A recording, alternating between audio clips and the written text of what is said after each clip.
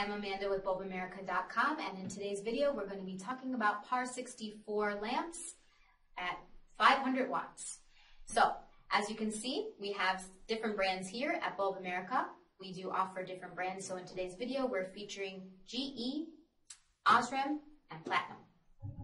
So, now I just want to show you uh, the different lamps that we have.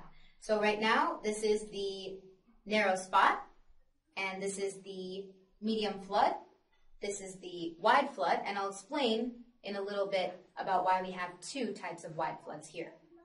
So if you notice the difference between the narrow and the medium is that the narrow has a little bit more of a frosted lens, and then the medium has something called a lenticular lens or a stepped lens. And uh, this is how you can tell the difference between the two types of beam angles. Now, over here, these two types of wide floods.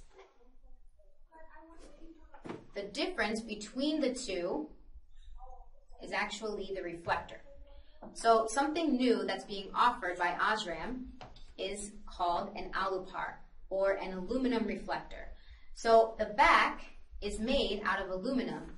Up until now, everything was made entirely out of glass.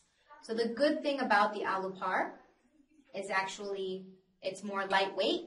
It produces the same types of effects, same beam angle, same quality. It's uh, generally the same exact bulb. It's just made out of aluminum on the reflector. And another great thing is that it's recyclable.